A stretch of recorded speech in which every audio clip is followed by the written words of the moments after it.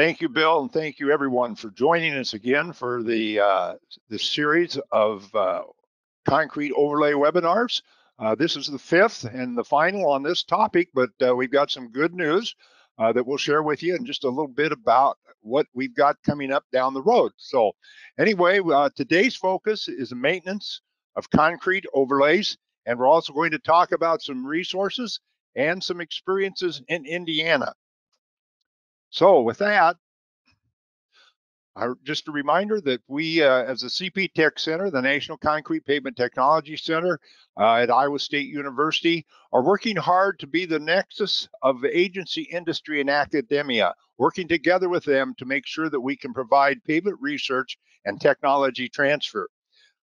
Our website is www.cptechcenter.org, and I certainly would encourage you to visit that if you haven't yet.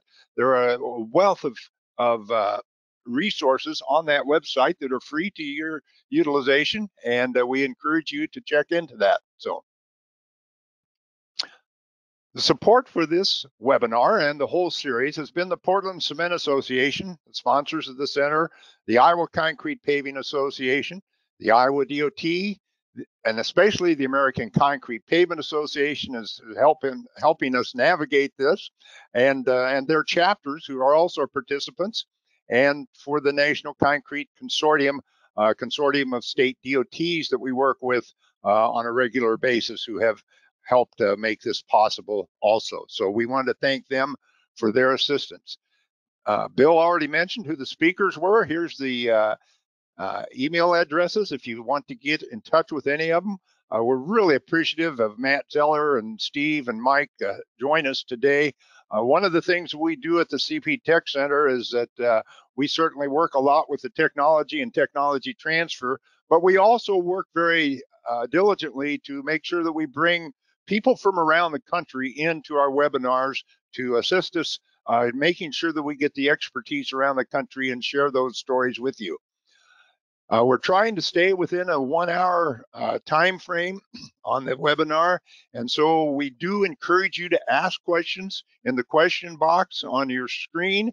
And, uh, and what we will do then is I will share those with the speakers. We'll get the questions answered and then distribute them to all the participants.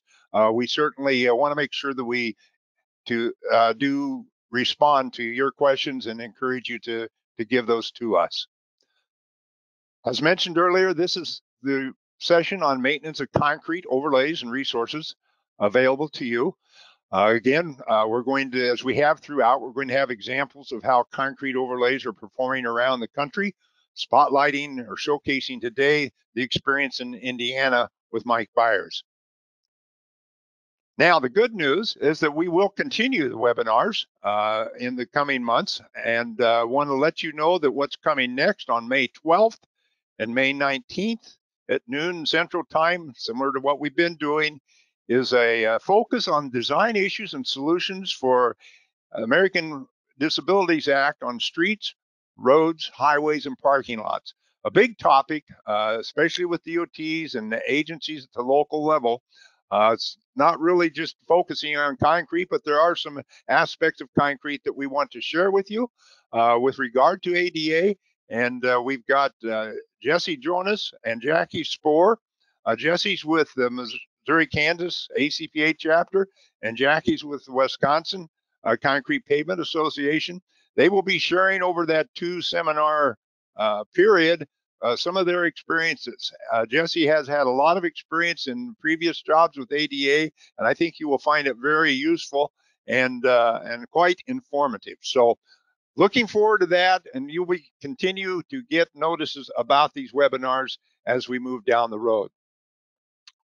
So with that, as I turn it over to Matt, I want to say thanks for questions and for joining us today.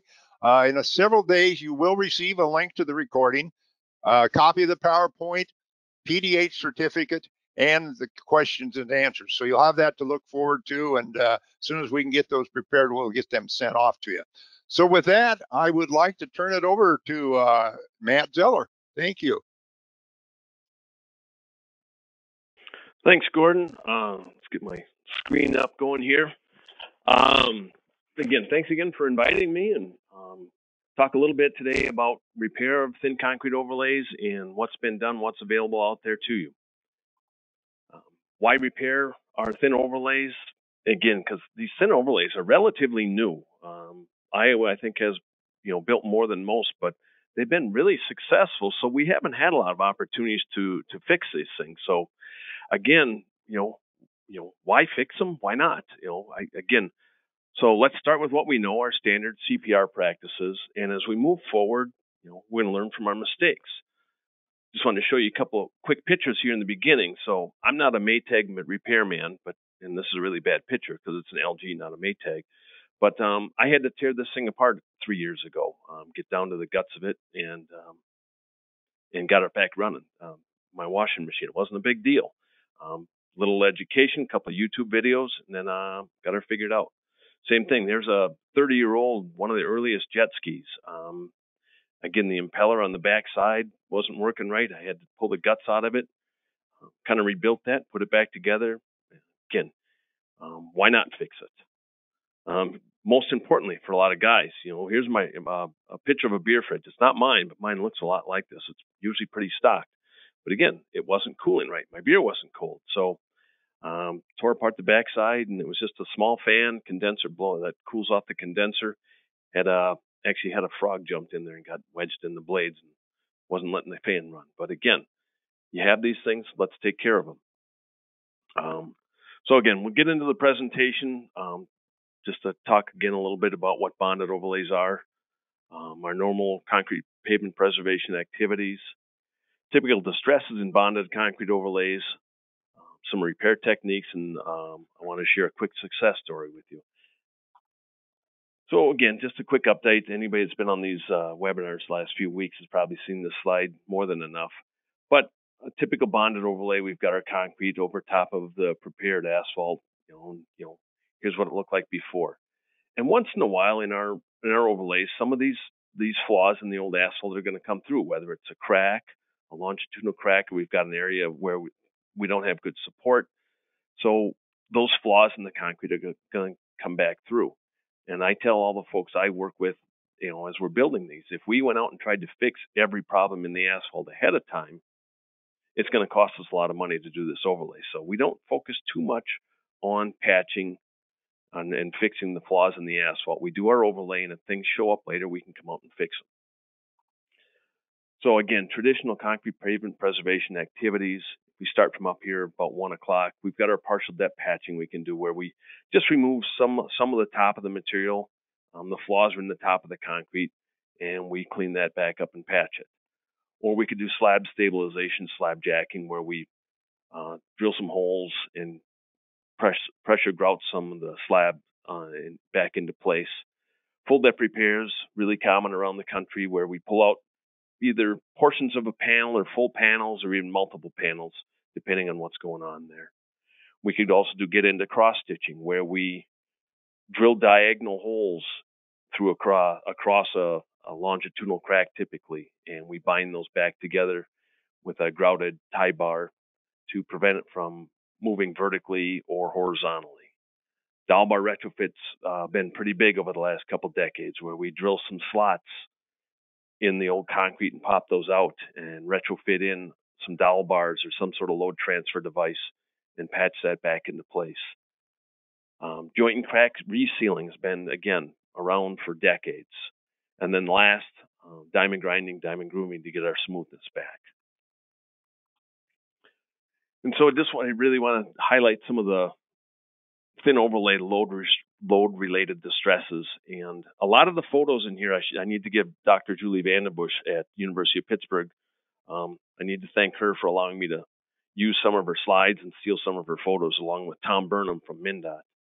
Um, but most of the cra- things we'll see is some sort of cracking, and we can have some diagonal cracking as we see here up in this picture, or where the joints come together. In this in this case, it's a smaller joint spacings that landed in a wheel path, um, we get some transverse cracking or some longitudinal cracking. And again, a lot of that is uh, indicative of some sort of load related distress. Um, we've seen with some of our overlays as we lose support the concrete actually compresses the asphalt down below, so we actually lose support at some of these corners, so the corners crack. Uh, once in a while, it's just lo- it's localized. Sometimes we've seen where it goes on and on and on down some of the panels.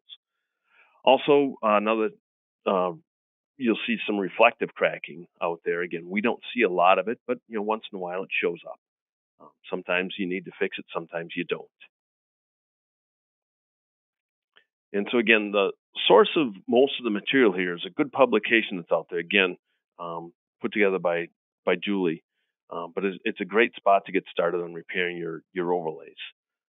Um, and again, it goes through mostly full depth repairs, and there's a link down below if you want to if you want to pull up this whole document.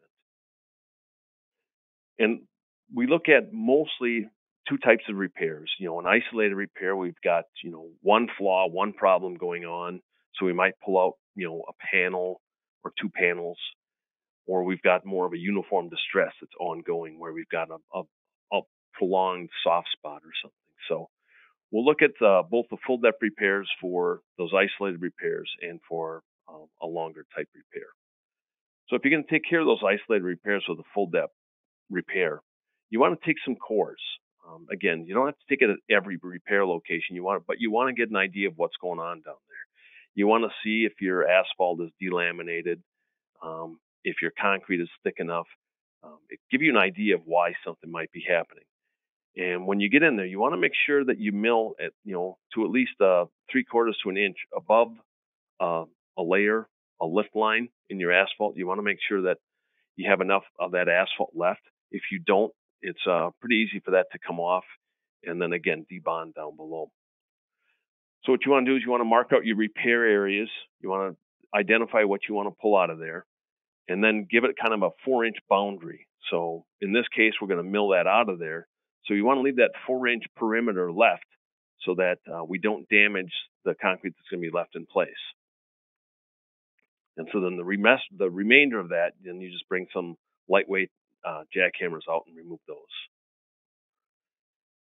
After that, if you've got that pulled out of there, you want to clean it up, you know, so you can again you can pull it out of there, you can power sweep that, you know, you may have to clean some things up with some lightweight hammers, light uh, handheld hammers, um, brooms. In this case, on the right hand side, they're using a vacuum to pull it out of there. But again, you want to get it all out of there so we can get a good bond back with the old asphalt. And again, just replacing the slab is just like uh, doing any other repair. So you want to come in with some compressed air to blow out the dust and the fines right before you're going to place the your new concrete patch and repair mix. Um, mist that area as well. You don't want that if that gets hot. You don't want that uh, either making your concrete set from the bottom or pulling moisture out of your mix. So you want to mist that, you know, get that wet a little bit. And then you want to place and consolidate your concrete, strike it off to make it level, reestablish any joints if you have to. T over three, if you're going to saw those back in, is our um, what most people use. And then if you seal it, I'll go that route. You also might have to repair a panel that has a reflective crack. Um, again, these these are not the same pictures, but they're similar. You can see the shoulder in both this side, and you look all the way across the road. That's where the crack was, and it just that's where it wanted to crack. So we, even though we put a joint nearby, the the crack went out. So you have to pull those panels out of there, again with the similar methods that we did before. And you want to make sure that you know we don't get any concrete down into that crack. We don't want to bond there, and we don't want to get any any grout down in there. And then just again, pour your um, your mix, and but you want the big thing you want to do here is you want to reestablish that that joint in your new concrete patch where that crack was. So identify at both ends of that on your slab where that crack was so you can come back and either tool that in or saw that back in so that now it's going to crack where the crack is. I mean, if we put a joint back where it what where it used to be, it's just going to crack right through this area again. Um, again, once in a while we have those longer stretches where we've got to pull out um, you know several panels or even hundreds of feet. Again, you want to pull some cores just again to make sure you know what you've got going on. You, you know, it might be see if you can figure out why it cracked. Maybe the asphalt delaminated. Maybe due to the milling process ahead of time when you built it originally, you didn't give yourself enough thickness on your new concrete overlay. So again, take some cores, take a look at it, see if you can figure out why it happened. Double check your your overlay thickness. You know that you know if you should have had five inches and you only had three inches, that might be the reason. So make sure you get that milled out deep enough to give you a you know the right thickness.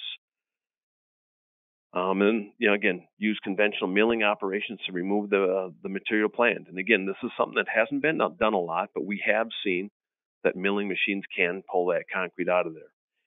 Uh, may, might need a different teeth, might go through teeth faster, but we can mill that out of there and uh, for replacement.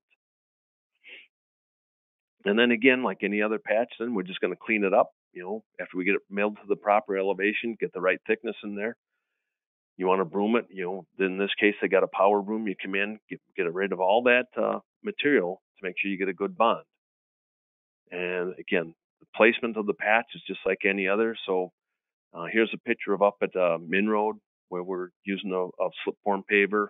They've got a roller screed in the upper right. And then the bottom two pictures again are just uh, photos of placing that concrete with uh, with the paver again.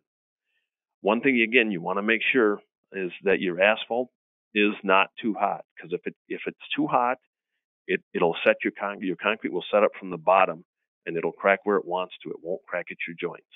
And again, the also the the uh, misting that surface helps uh, make sure it doesn't uh, pull any um, paste out of the, the concrete or water out of the concrete up above.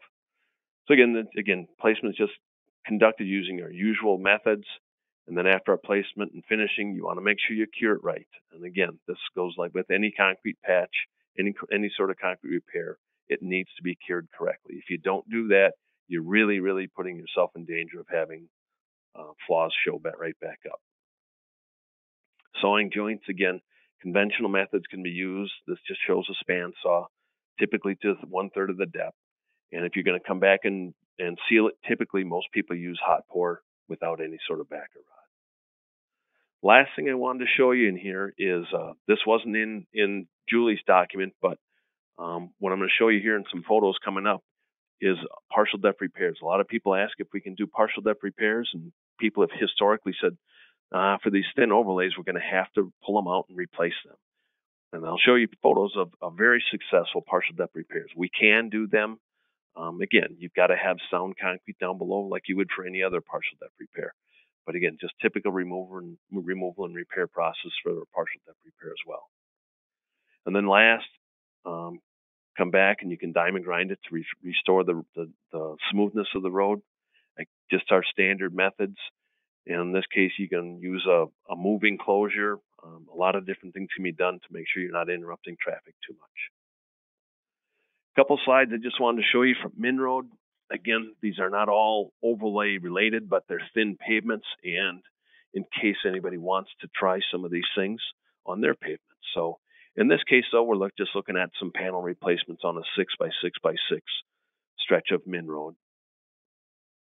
Um, here's another one on the six by uh, six inch uh, thin overlay.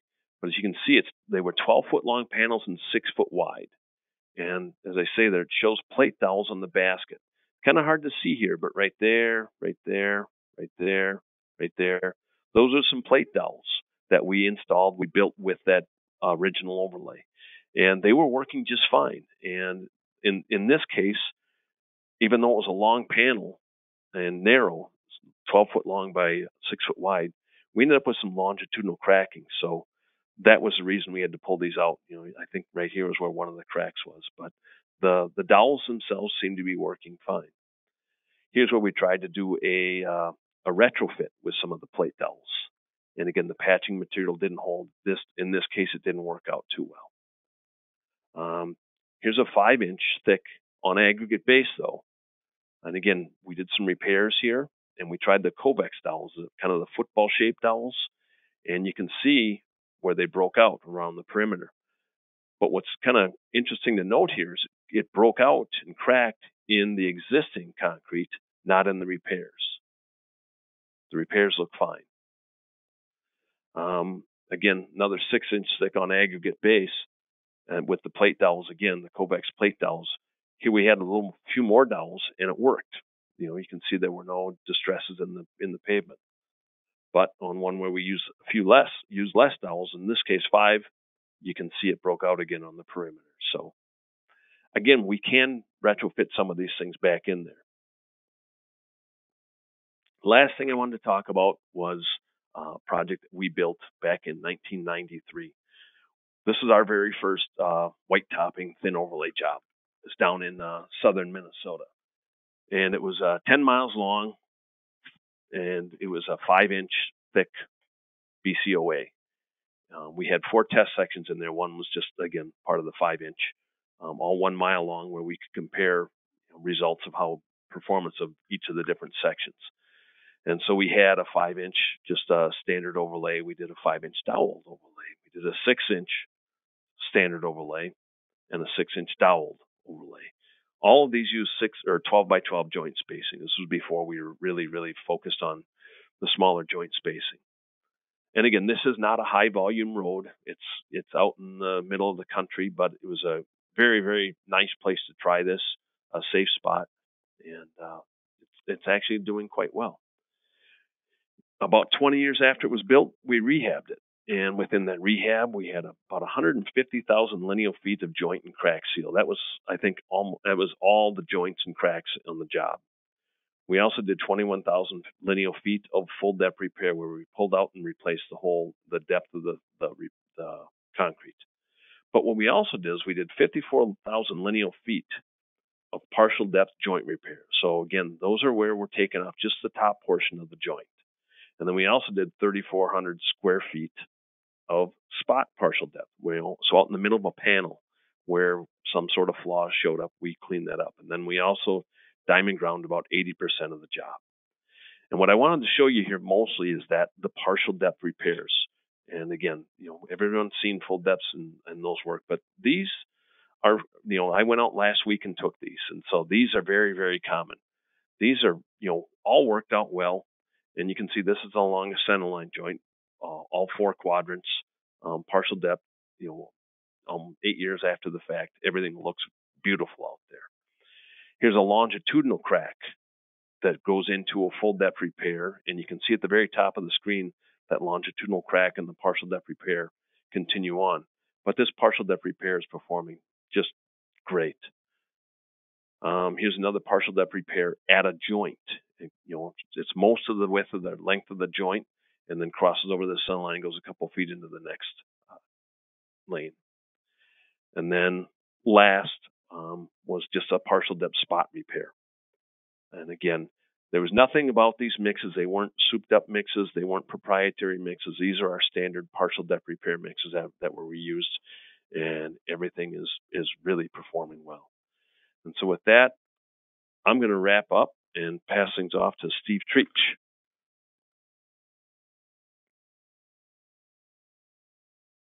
Thank you, Matt. Get mine pulled up here real quick. Shouldn't take very long. I'm just going to uh, essentially list a couple of resources, publications, in addition to what uh, Matt stated in regard to the document that Julie uh, has written uh, several years ago.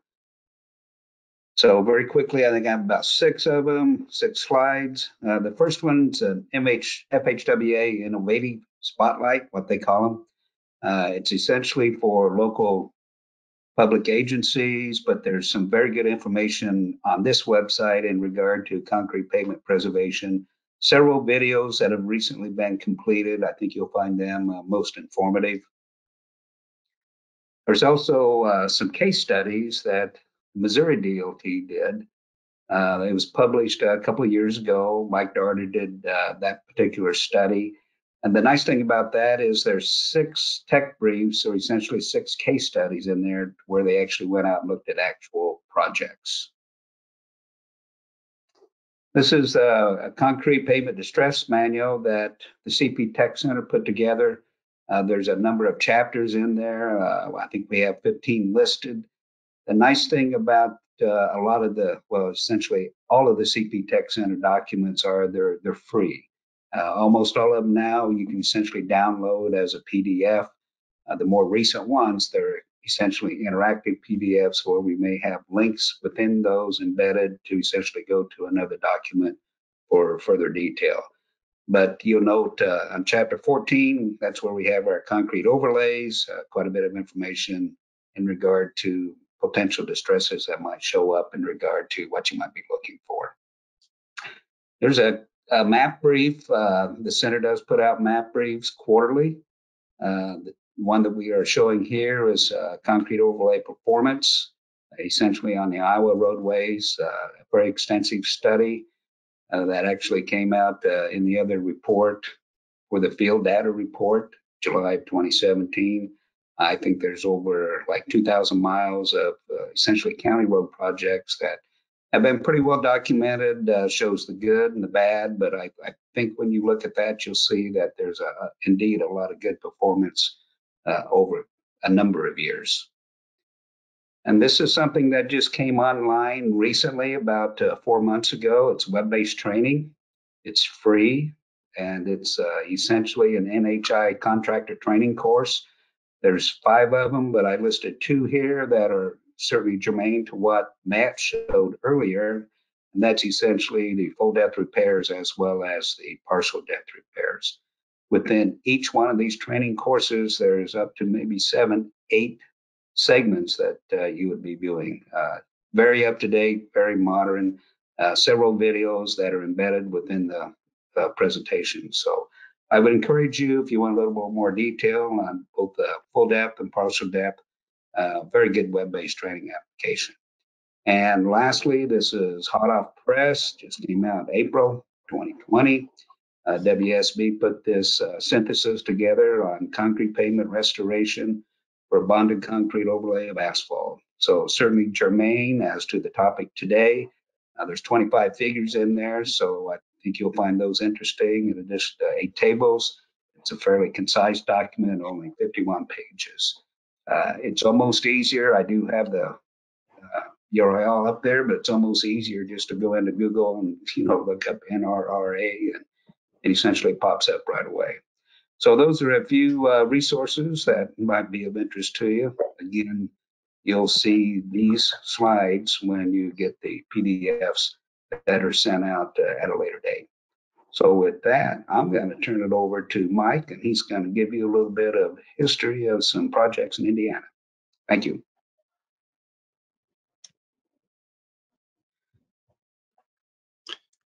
Good afternoon, everybody. Let's take a few minutes here to review the Indiana experience regarding how we move towards concrete overlays as a preservation option within the state system. A, is like in most states, our 11 plus thousand miles of network are showing some age, and but we've moved into the, a lot of the preservation mode in the system. We're still building a few new new alignments and some reconstruct, but a large share of the system is preservation mode. And so the industry had discussions with the the agency as to whether concrete overlays, which had significant experience in other states, might be a rehabilitation option in the preservation that might provide a longer term a rehab option. We'd had significant use of concrete overlays in the local market, and particularly general market. Six inch overlay very well, and we uh, talked to the DOT, and as you can see there now, the DOT has embarked upon a program. They built 10 overlays to date.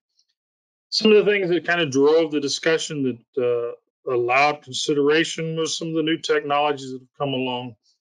Uh, the, the advancement of high strength macrosynthetic fibers providing residual strength gain in Indiana established that we would target a 20% residual strength gain for our fiber dosage. Um, and we and we did pretty significant research on it. We went to Illinois, who'd done a lot of research, and went to their their testing center and reviewed the work they had done regarding macrosynthetic fibers, and and we decided upon the 20%, and that pretty much gives us a five to four to five cubic yards of fibers uh, dosage in the in the mixtures. And the concept reason we the industry was interested and the DOT was interested was that the This would now allow us to go to a thinner concrete overlay, which would allow the rehab to be done within a lot of the existing alignment without changing elevation grades, et cetera, et cetera.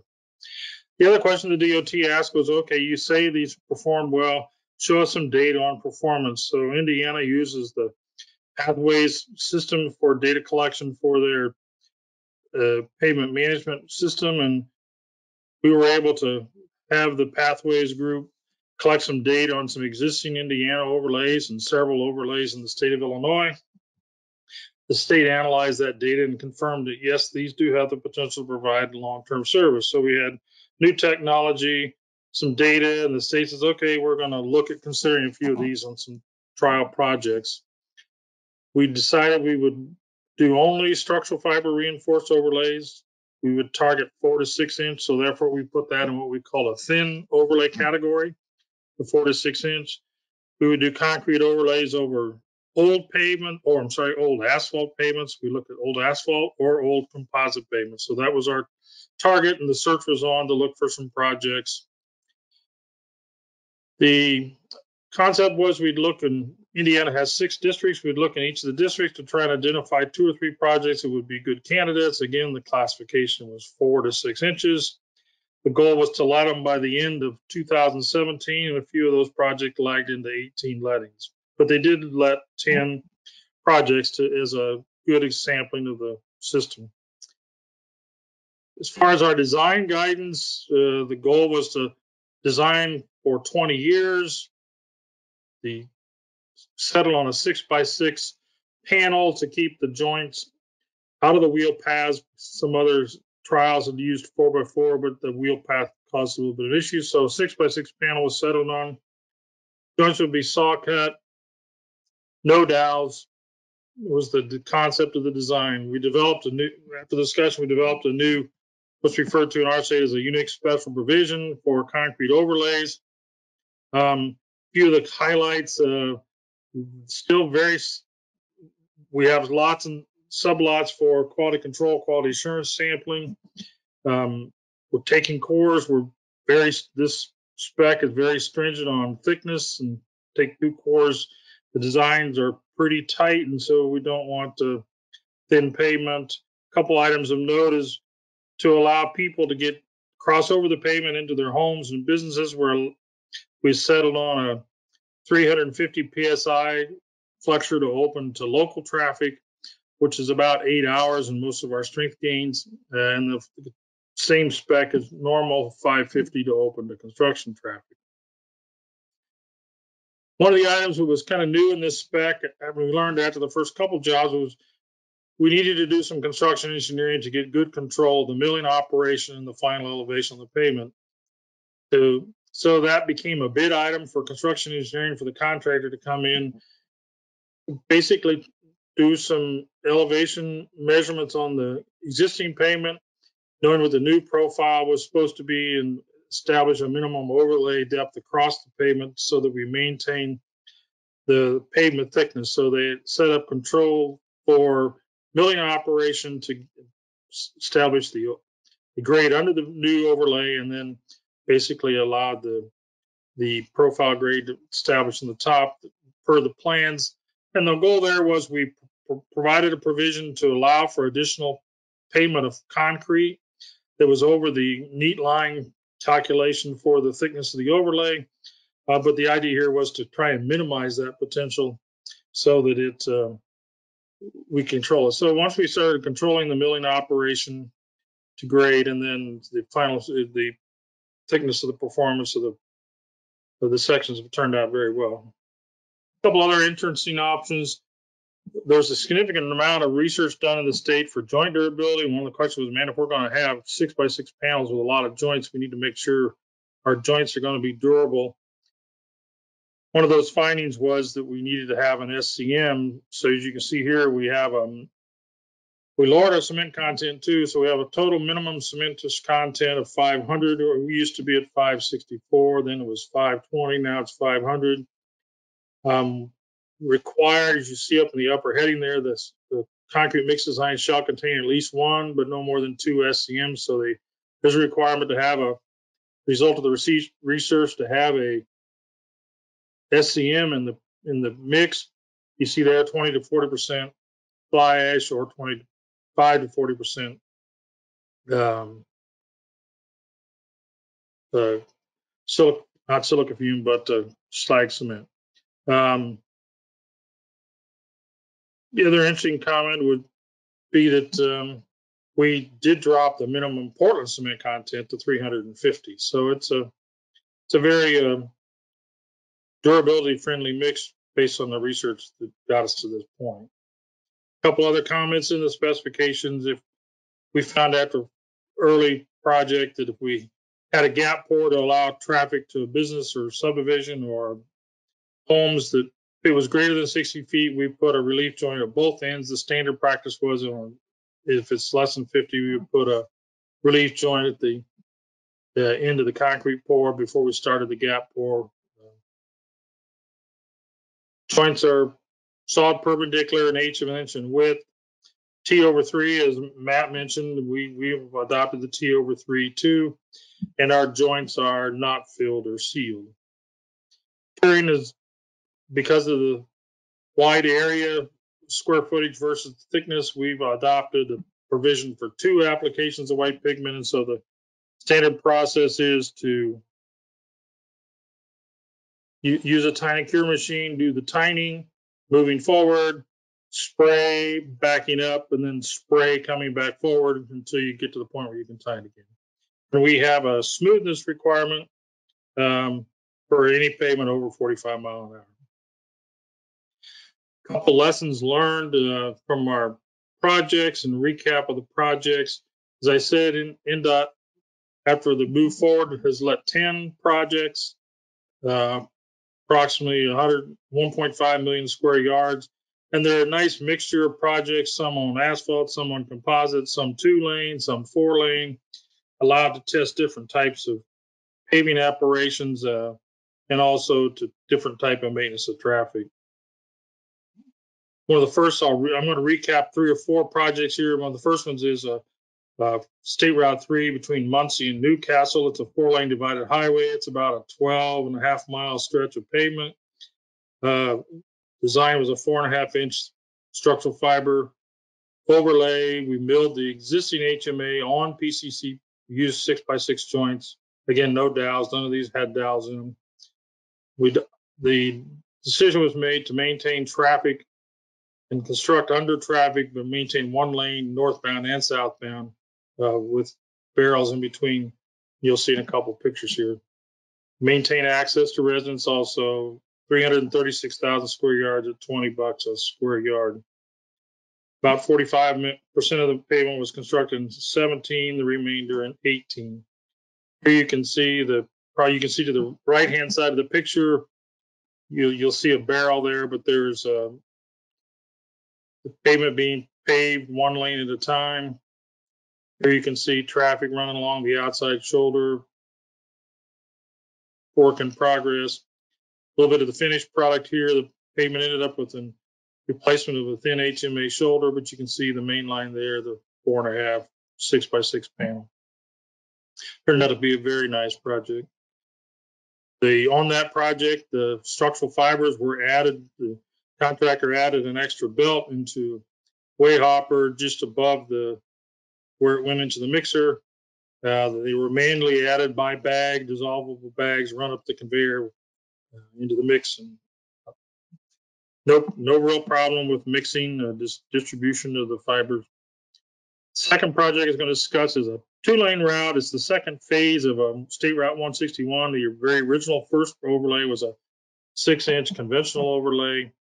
This is a four and a half inch fiber reinforced, again, six by six panels. The original project had 12 by 12, um, but 56,000 square yards. It was a fall 2017 project. Here you can see a finished photo of it, one one photo in place uh, while they're building it there. Uh, one lane built, traffic run to the side. In this job, the traffic is run one way, local traffic only through the project. Um, they ran from the north end through the south end. Uh, you can see here there's a lot of people viewing this construction this day. A fairly large group from Kentucky Transportation Cabinet came up to view the paving. Um, and they've since looked at a couple concrete overlays in their state. You can see the finished product on the left there. Another two lane route, and the reason we show this one is that it was a again a four and a half inch overlay, but the nice part here was it was a rural route where we could actually close the road down for the southern four mile of the job, and we paved it 30 feet wide. So as you can see here in the upper left hand, the concrete being supplied to the paver, um, followed by the full width of the being paved full width. See the tine and cure machine back behind it, but it's nice if you're able to pave this full width, created a great coherent uh, fiber reinforced slab all the way across the pavement. You can see a close up and a freshly cured pavement there. The other item this pavement had was it was designed with rumble stripes, as we call them. Um, you can see here the pavement's textured for the paint stripe, and then it's also been uh, ground for the rumble strips. The key thing there is you have to avoid. You got six by six panels, so you have to make sure you miss the the joint location. The fourth project, and final project, is another State Route 9 job. This was south of a town called Shelbyville. It was a this was a six inch and a widening. That was two lanes wide, um, but it it had a three foot shoulder widening and depth. So it had a where we tacked the tie bar on the top edge of pavement and went from a six inch to an eight inch shoulder. Um, also, the, this project we demonstrated that uh, we could pave a safe safety edge along with the pavement. So you can see there at the outside edge of the shoulder, there's a, a safety edge being slip formed with the paver. One of the things we learned is all the projects were built using traditional construction. And originally, some contractors had apprehensions they'd be able to pave 15 foot wide, 12 foot wide, 30 foot wide, four inches deep, or four and a half inches deep. But they found that it paved very well, particularly with the fibers in there. They held their depth very, very well, paved very smoothly. Um, so conventional construction with traditional pavers, we milled all of our surfaces. We milled the old asphalt off to get to the proper elevation grade. So the surface was milled and cleaned, and all the concrete was either placed via a ready mix truck, dumped directly in front via belt placer, or dumped out of an open bed truck. We had all three kinds of application in front of the paver, but all worked exceptionally well as far as traditional construction goes. We still do a transverse tying in Indiana, so it's a divisional transverse tying. Almost all used a tying, tying and cure machine. You see the texture there. We did traditional curing, other than we require, as I called before, the two coats. So what you see here is they're paving to the left hand at north edge of the picture there. The tine and cure machine tines as close as it can to the pavement before it's pavement's still too too wet. Uh, then then they cure, moving back, and then they come back and cure back up to where they're ready to tine again. So there you can see it in full cure. The goal when we're done is to have a curing coverage equivalent to the sheet, sheet of white paper. Sawing, we the contractors pretty much utilize early entry saws for all these projects. Uh, you see the note there says be ready. We had to alert everybody that there are a lot more joints here and a pavement thinner. You need to make sure you have sufficient saws on site so you can uh, like to mention, we picked several different applications and addressed different concerns on traffic control. I think we, the contractors and the industry proved that we're able to manage pretty much any situation we faced. The very first projects were two lane routes that had uh, traffic control closed to everything but local traffic, and the local traffic was allowed to move um, through the through the project in one way and is managed fairly well. And they say there was room for trucks to come in and out and room for the paver to, to pave. Mentioned earlier that State Route 3 job was a four lane route. Um, and the, the option there was to pave it under traffic, but move traffic to the outside, then move it on the new pavement and pave the outside. Worked fairly well. We tried a couple later projects where we closed down and cross traffic over. Those worked even better. I think that standard moving forward would probably be if we can to uh, cross traffic over and then have one side shut down where you could pave full width. I mentioned that State Route 9 job had the opportunity, to had rural route, pretty wide, right of ways, some fairly uh, wide space shoulders available for access of trucks and vehicles, and people could get to their homes via the the side ditches. So they uh, we, for those four miles we paved a full width as a trial. Worked very very well. And then one where we had a lot more traffic on that State Route 9 job south of Shelbyville, the southern end of that job, there was extensive truck traffic from three aggregate quarries and some additional cars. So that one, we implemented the contractor implemented use of portable traffic signals and a pilot car to manage traffic in that. And that likewise proven to work pretty well when you have the tight constraints of traffic to manage through the job. So the next steps in Indiana are the they all the projects they built, they're evaluating. We've had a few things that people are saying, oh, we need to do this, we need to do that. So we're adjusting some scope. We learned in a couple jobs that if you don't, if you just core down in the center of the road and you and think that's your section, you may be fooled that actually a lot of those overall roads were widened at some point in time and not nearly as stout a section as the main line. So we've lost a little bit of support at the outside edge of pavement uh, that's caused a little bit of cracking that we're looking at making sure we better evaluate what is there in the future. But uh, so we're making some of those adjustments to the scoping and investigation requirement, adjusting a few design details in the spec, not too extensive. I think we're looking at a couple other um, still we'll still stay with the same T over three, I think, sawing details and uh, six foot joint space. Consideration to go on to PAMS curing compound instead of a white pigment and only be one coat, but that's still not finalized.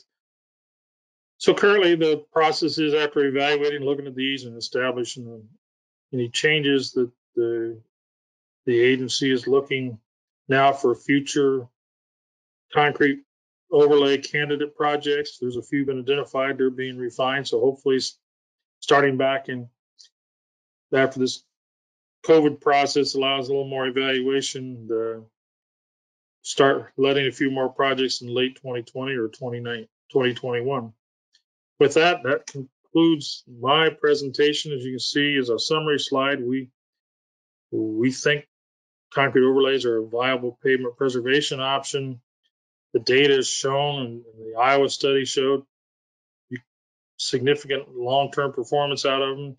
Ours have proven to be cost competitive. They've proven to be constructible with traditional methods, and we've not found any maintenance of traffic issues we haven't been able to solve. So we think they're worth taking a look at. With that, you, I turn it back over to Gordon, I believe.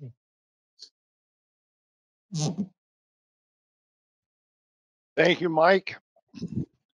Again, we certainly appreciate everybody's participation today. Uh, as I mentioned earlier, in several days, we should you should receive a link to the recording.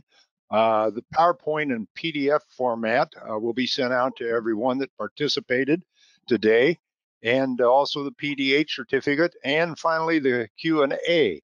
I was looking here a little bit ago. There's a lot of questions that came in today. Uh, if you still have questions, please uh, plan to uh, continue to enter those for a while. Bill's going to stay online for a little while and uh, allow you the time to go ahead and enter the questions into the question box. And as mentioned earlier, uh, once we get there, uh, we'll, we'll we'll get those answered and get them out to you. Just a couple other housekeeping things here. I already mentioned, uh, but I, I want to remind you about the ADA uh, series, the series of two presentations that we're going to have on uh, Tuesday, May 12th and Tuesday, May 19th. Really a, a good uh, overview. I saw part of it last week, and I think you'll find that it's very helpful to try and understand to some extent some of the challenges that our disab- disabled people have to deal with and why we're uh, focusing so much on making sure that we can make things accessible to them. And then it looks like in uh, the latter part of May, the 26th, and the first uh, week of June, we'll uh, have a, a, series on concrete pavement preservation in general, uh, preventive maintenance and pavement evaluation, and the various treatment operations, kind of to build a little bit on some of what we've learned today. Uh, uh, we really, really look forward to uh, continuing this. Uh, I think that one of the things that we want to encourage you to do is participate in the topic survey. Uh, we've had that available for several weeks. Uh, you can see the link to it there on your screen. Get on there if you haven't yet and let us know what some of your interests are with regard to concrete pavements or related topics. Uh, we're going to be working very closely with the ACPA national and also the chapters to identify and, and to, to look at your uh, surveys and come up with a, a, good consensus of what are the needs out there so that we can put the team together that can uh, address those issues in our upcoming webinars down the road. We're really thrilled with the numbers that we've had. I think we were very close to 750 or more today uh, have had great participation. We know that part of that's uh, with our challenges of uh, staying home and and uh, not being able to be quite as accessible to other things, uh, but we, we also think that this may be a, a good uh, indicator of how we're going to communicate a lot of this information in the future. So if you've got any suggestions or any thoughts, please, please help us out with that. And I think with that, uh, again, we want to we want to thank our uh, uh, speakers, Matt Zeller with uh, Concrete Paving Association of Minnesota, Steve Tritsch, uh, my coworker here at the CP Tech Center, uh, and Mike Byers from Indiana. I think the presentations today and throughout the whole series have been great to share some of the things that are going on around the country.